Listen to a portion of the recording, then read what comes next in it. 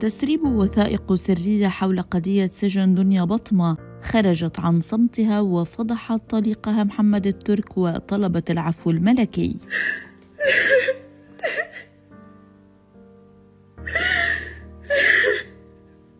تستمر قضية الفنانة المغربية دنيا بطمة بتصدر حديث رواد مواقع التواصل الاجتماعي عقب الحكم الصادر بسجنها لعام نافذ جراء اتهامها بعلاقتها بقضية حساب حمزة بيبي إحنا باقي مدانين؟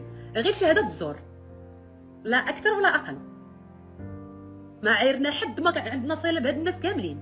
ولا عمرنا عيرناهم. وفي السياق خرجت دنيا عن صمتها مجددا عارضة بعض الوثائق المهمة في القضية ومشيرة إلى علاقة طليقها المنتج البحريني محمد الترك في القضية كما وجهت رسالة باكية للملك محمد السادس بن الحسن ملك المغرب وطلبت منه التدخل لحل هذه الأزمة. بس اللي ما تعرفه الناس أن أنا إنسانة جدا طيبة. بس. وأكدت الدنيا مجددا ألا علاقة لها أو لشقيقتها بحساب فضائح المشاهير الذي هز الرأي العام المغربي قبل نحو أربع سنوات الذي قالت أنه بالفعل تم تبرئتها من العلاقة به عارضة بالوثائق ألا علاقة لها أو لشقيقتها ابتسام بطمة بهذا الحساب بشكل قاطع. درت شكاية بالحساب. درت شكاية بينا. بالاسم. ها هي. عند الفرقة الوطنية وغنحطها لك في ستوري بركة من الكذوب. إحنا ماشي صحاب الحساب شاء من شاء وكره من كره. ونشرت دنيا بطمة وثائق محضر الفرقة الوطنية والتي أفادت أن فنانة معينة كانت قد تقدمت ببلاغ ضدها وضد شقيقتها ابتسام بطمة اتهمتهما فيه بمهاجمتها عن طريق حساب حمزة بيبي بسبب عدم دعوتهما لحفل خطوبتها.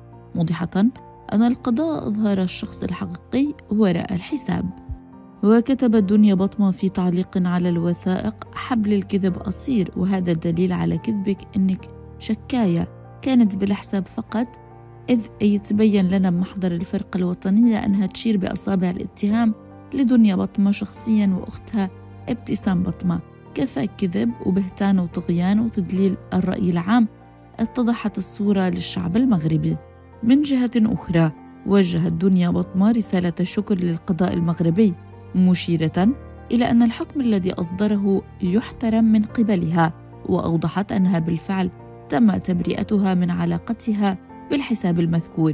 كما أشارت دنيا بطمة إلى أن طليقها محمد الترك خان ثقتها فيه وتسبب في توريطها في الأزمة أكثر وأكثر وذلك من خلال إخراج كل أسرارها وما يدور بداخل منزلها إلى العلن.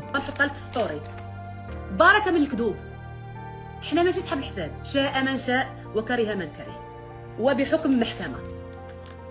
ترفض لي طلب آه، ديال ديال النقد. كما توجهت دنيا بطمة في ختام حديثها برسالة إلى الملك محمد السادس طالبته فيها بالعفو الملكي السامي عنها كمواطنة مغربية تعرضت للظلم والمؤامرات المحبوكة منذ ما يزيد عن أربع سنوات.